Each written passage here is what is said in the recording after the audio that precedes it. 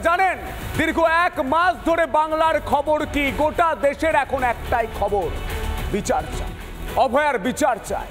সেই দাবিতে যখন প্রত্যেকেই স্লোগান দিচ্ছেন, রাস্তায় বসে রয়েছেন, জুনিয়র ডাক্তাররা আন্দোলন করছেন, মুখ্যমন্ত্রী মমতা বন্দ্যোপাধ্যায়ের সঙ্গে বৈঠকটাই হচ্ছে। কারণ লাইভ স্ট্রিমিং করা যাবে না। সেই বৈঠক যখন হচ্ছে না, তখন মুখ্যমন্ত্রী মমতা বন্দ্যোপাধ্যায় বলছেন, প্রয়োজনে পদত্যাগও করতে পারি। ওরা বিচার চায়, চেয়ার চায়। নবান্নের সাংবাদিক বৈঠকে মন্তব্য মুখ্যমন্ত্রী।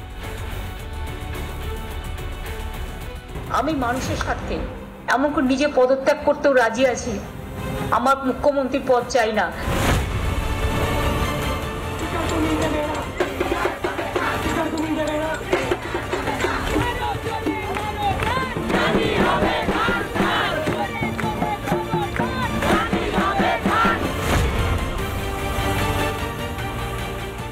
বিদ্রোহের দাবানল ছড়িয়ে পড়েছে। স্বাস্থ্য ভবন থেকে নবান্নের দুয়ারে প্রতিবাদের গর্জন। জুনিয়র ডাক্তার ও রাজ্য প্রশাসনের টানা পড়েন যখন তুঙ্গে, ঠিক তখনই সাংবাদিক বৈঠকে পদত্যাগে রাজি হওয়ার ঘোষণা মুখ্যমন্ত্রীর।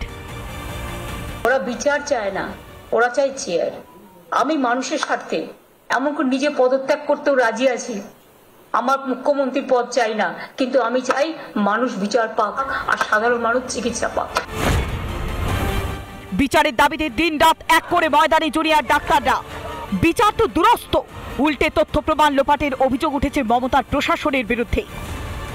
এই আবহে মুখ্যমন্ত্রীর এই মন্তব্যে পাল্টা ধেয়ে এসেছে জুনিয়র ডাক্তারদের থেকেও।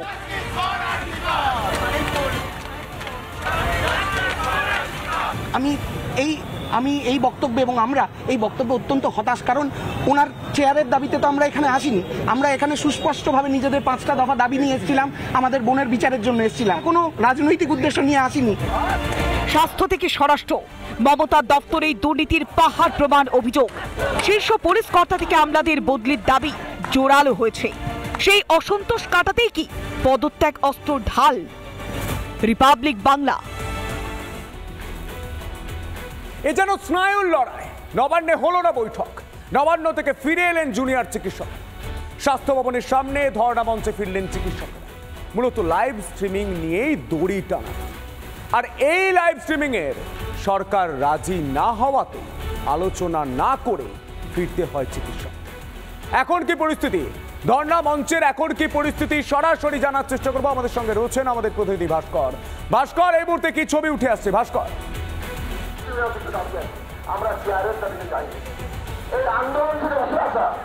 একদমই সন্তোষ দেখো, লাগাতার আন্দোলন চলবে এবং এবং নবান্নে বৈঠক করতে গিয়েছিলেন চিকিৎসকেরা।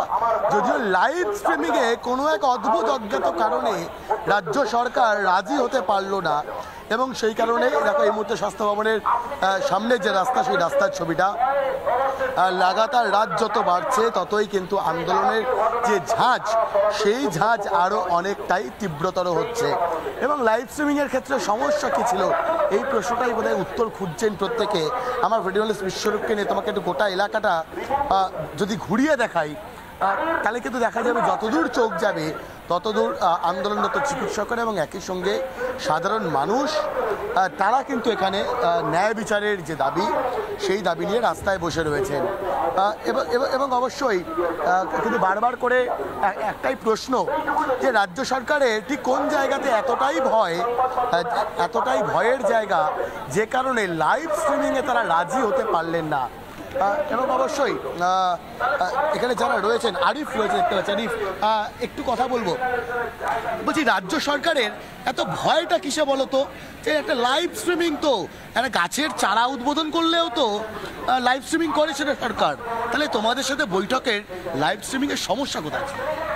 আমরা তো এই জিনিসটাই বুঝতে পারছি না। আমরা যখন গেলাম নবান্নতে, আমাদের প্রতিনিধি যারাই ছিলাম, আমরা প্রথমেই যখন টেকনিক্যাল প্রসেসিং হচ্ছিল, তখনই আমরা বললাম যে আমরা কিন্তু যে মেল করেছি, সেই লেটারের মধ্যে লেখা আছে যে আমরা যে লাইভ স্ট্রিমিং আমরা দুটো উদ্দেশ্যে বলেছিলাম যে এইটা আমাদের নিজেদের স্বতঃস্ফূর্ত দাবি যে আছে, তার সঙ্গে এখন আপামর জনসাধারণ, ভারতবর্ষের তাদের দাবিটা সম্পৃক্ত হয়ে গেছে। বলছি, নবান্ন সভাগর তো যন্তর মন্তর গণ নয় যে ভেতরে ঢুকে কি কথা হবে সেটা বাইরে বলা যাবে না। কি এমন গোপনীয় কথা সরকার বলতে চাইছিল তোমাদের? হুমকি? ভয়? না সেই জিনিসটাই তো আমরা বলেছিলাম যে সাধারণ মানুষ তাদের যে এই যে দাবি আমাদের দাবির সাথে সম্পৃক্ত হয়ে পাঁচ দফা যে দাবি সেই দাবির যে আলোচনা এবং সেই আলোচনা থেকে যেটা উঠে আসছে সেটা পরিষ্কারভাবে সবার সামনে ট্রান্সপারেন্টলি সবাই সেই জিনিসটা দেখুক। সেই জিনিসটা যে তাদের কাছে তারা যে কেন করতে চাইলেন না কোনো রকম সদুত্তর তারা কিন্তু দিতে পারেন। একদম, এবং সদুত্তর তো সরকার দিতে পারল না। কিন্তু তোমরা যারা, বা সাধারণ মানুষ যারা, আজকে ন্যায় বিচারের যে দাবিটা নিয়ে এই মুহূর্তে রাস্তায় দেখতে পাচ্ছি, হয়তো গোটা রাতভর আরও বেশি মানুষ হয়তো রাস্তায় থাকবেন। এই ন্যায় বিচারটা কবে হবে? সরকারের এতটুকু সহানুভূতি বা সহমর্মিতাটা নেই কেন? আমরা যতি দ্রুত কাজে ফিরতে চাই। তার জন্য দেখছেন আজকে চৌত্রিশ দিন আমরা রাস্তায় রয়েছি এবং এখানেই আজকে তিন দিন হতে চলল। সরকারের কাছে আমরা বলেছি যে অ্যাজ এ অভিভাবক মুখ্যমন্ত্রী যখনই ডেকেছেন আমরা গিয়েছি যাতে এই অবচল অবস্থা কাটুক এবং সরকারের এই যে স্বাস্থ্যে বেহাল অবস্থা সেই অবস্থা পরিশোধিত হোক সেটা অচল অবস্থা কাটুক এবং স্বাস্থ্যের পরিকাঠামো আরও ভালো হোক চাইছেন জুনিয়র ডাক্তাররা। কিন্তু মুখ্যমন্ত্রী কি চাইছেন? সেটা কি স্পষ্ট? সেই প্রশ্নটাই তুলছেন তারা। এই ছবির দিকে অবশ্য আমাদের নজর থাকবে, ভাস্কর, আপাতত তোমায় ধন্যবাদ। অভয়া খুনের তদন্তে নতুন নতুন তথ্য। কখনো উঠে আসছে সিসিটিভি ফুটেজের কথা। কখনো আবার আরজিকর হাসপাতালে ঘটনার রাতে একাধিক পার্টির তথ্য। তবে এবার তদন্তকারীদের নজর অভয়ার গালে কামড়ের দাগ। অভয়ার গালে কামড়ের দাগ কার? তা জানতেই সঞ্জয় রায়ের দাঁতের ফরেন্সিক পরীক্ষা করতে চায় কেন্দ্রীয় তদন্তকারী সংস্থা। দেখুন।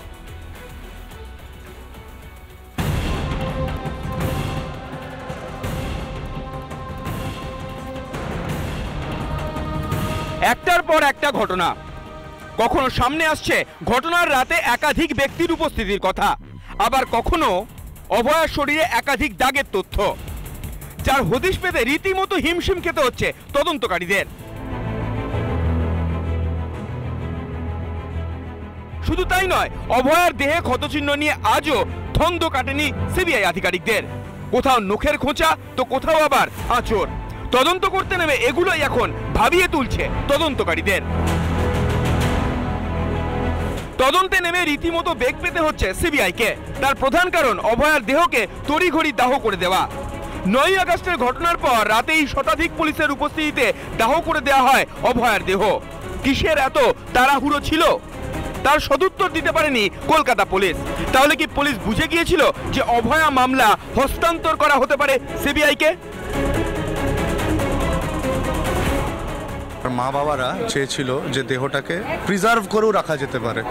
এটা ওনাদের বক্তব্য এবং ওনাদের এই ইচ্ছা থাকা সত্ত্বেও পুলিশ এবং লোকাল কাউন্সিলর প্রেশার দিয়ে বডিটাকে তড়িঘড়ি করে পুড়িয়ে দেয়।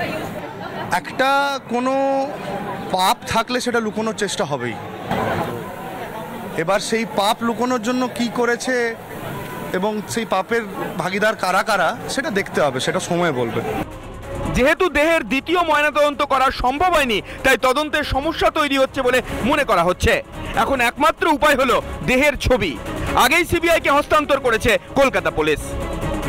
পুলিশ সেভাবে না জানলেও যেভাবে হোক তদন্ত, সিবিআই না হলেও যে ধরনের জনরোষ তৈরি হচ্ছে, যে ধরনের আন্দোলন হচ্ছে, সেখানে পুলিশ সিবিআইয়ের কাছে যাক আর না যাক, তার থেকে এটুকুন জানে যে ডেফিনেটলি যাকে সামনে খাড়া করা হয়েছে, শুধু সেই কালপিট নয়, হয়তো সে আদৌ কালপিট নয় এরকমও বেরোতে পারে।